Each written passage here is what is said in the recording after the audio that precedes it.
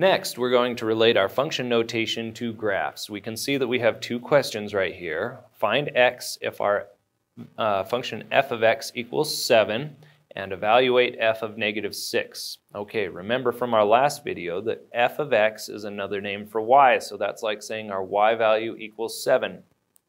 So we're supposed to find x if our y value equals 7. Let's come to the graph. Our y value of 7 is corresponding to right there. Let's find where that is on the graph. That's over here on the right side. So that's this point right here at that location. We need to find our x value from that point. So let's go down here to our x-axis and we see that our x value is 3. So the answer to this question is x equals 3. Next, we're tasked with evaluating f of negative 6.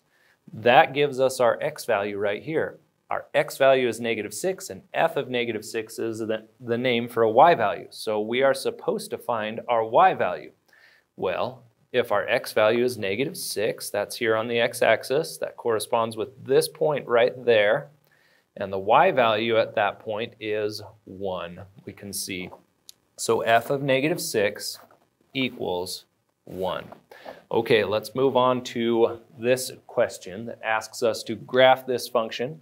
I've started a table of values here, and we're just going to use our skills of evaluating function notation to be able to build out the rest of this table of values. Then we'll put the points on the graph.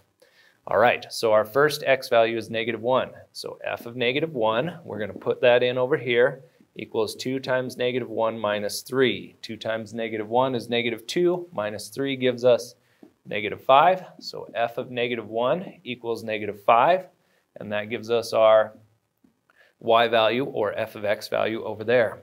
Our next x value is 0, so f of 0 equals 2 times 0 minus 3. 2 times 0 is 0, minus 3 gives us negative 3. f of 0 equals negative 3, and that gives us our value there. Our next one is 1.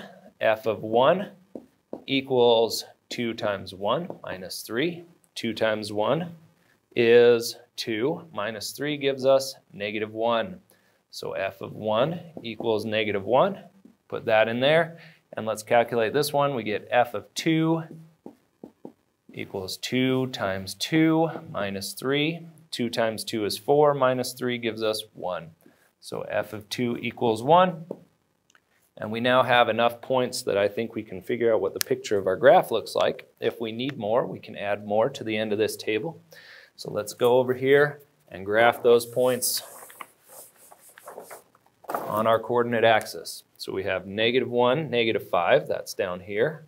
We have 0, 3, 0, negative 3, sorry.